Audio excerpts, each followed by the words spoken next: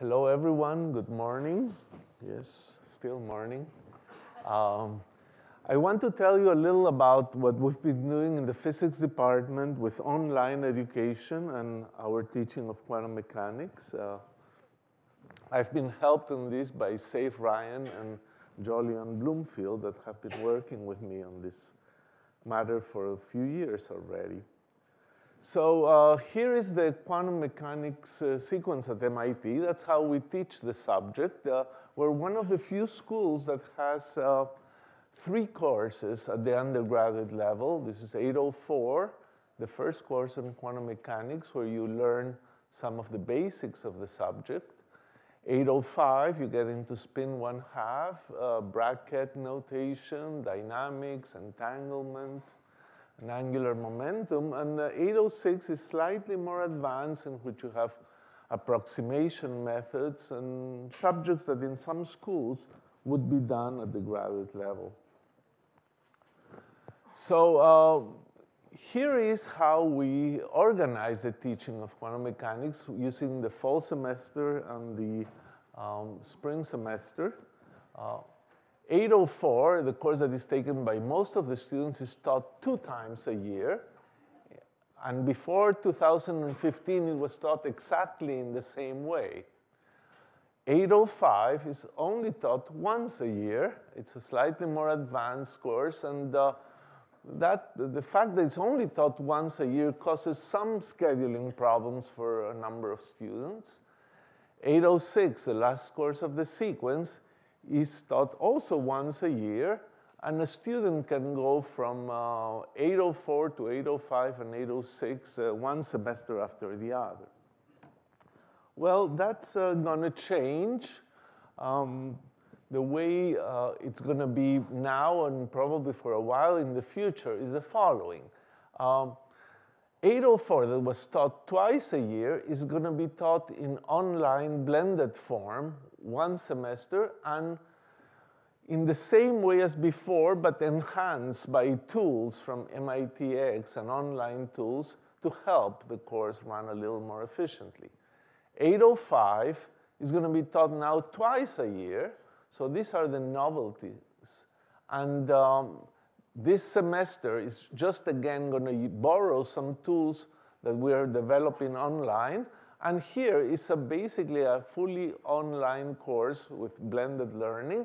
And that actually, after experimenting with it for already two years, it has become a permanent course in the MIT curriculum. The Committee on Curriculum approved this course. It's totally different from the conventional course.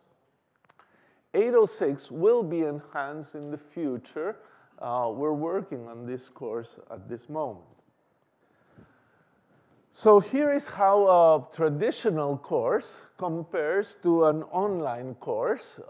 Here is a traditional 805, say the second course, and here is the online course that is offered to the whole world, 805X we've made a point in every time we're teaching these courses is that uh, we run the online course at MIT simultaneously with the MIT X course for the whole world. So we get a lot of insight about the different populations. Um, now, uh, when we go into a blended format, we take things from each of the elements. From the traditional course, we keep recitations for two hours a week.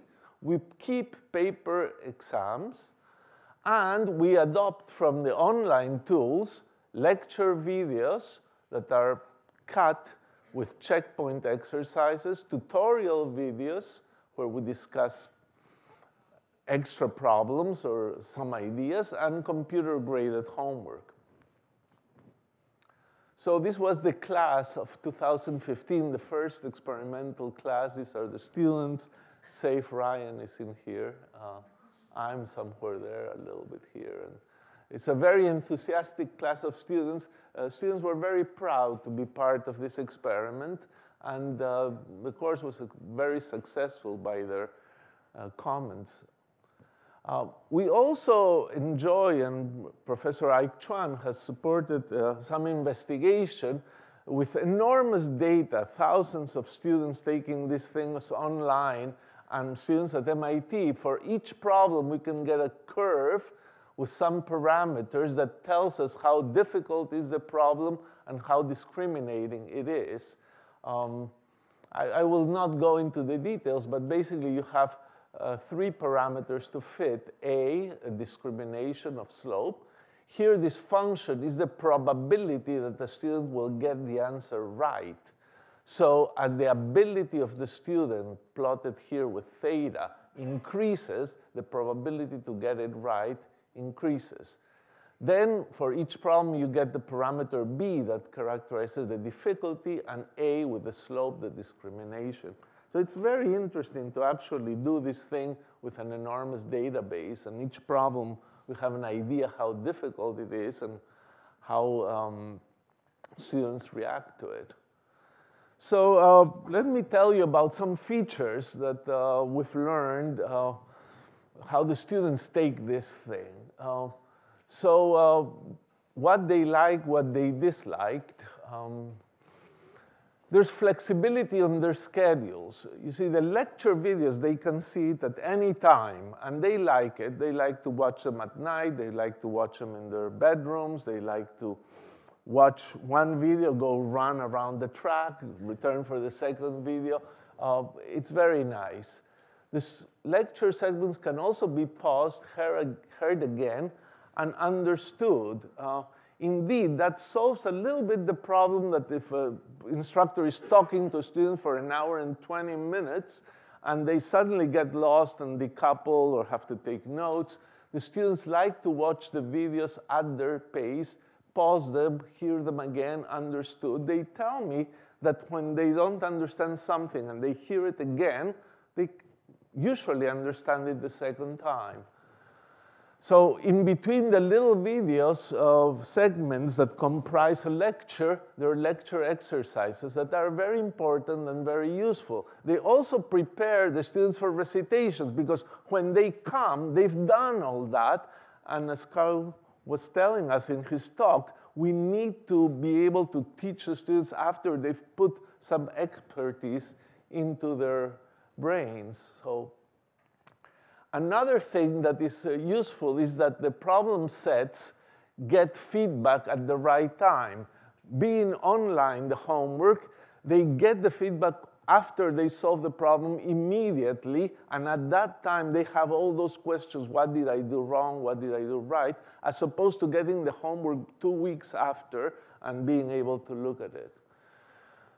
They say the online grader doesn't give them much feedback, uh, no good partial credit, and they would like to be able to print the material a little bit better, and that's some of the things they complain. But uh, let me just conclude by saying a few things. Uh, uh the quantum sequence is very important for the MIT undergraduate uh, education, and we would like to get it right. Uh, I think we've been developing it, and hearing Carl's talk, I feel a little bit that we will should do some thinking as this evolves and optimize it in several ways. This has all been possible because the technology is just amazing. Online homework is unbelievable. You can put in a formula, write it in a hundred different ways. The grader will be able to tell whether it's right or wrong. There's tools developed by the mathematics department for sketching, functions. There are all kind of amazing things that can be done. Uh, I, as I told you, one of these courses already became a permanent.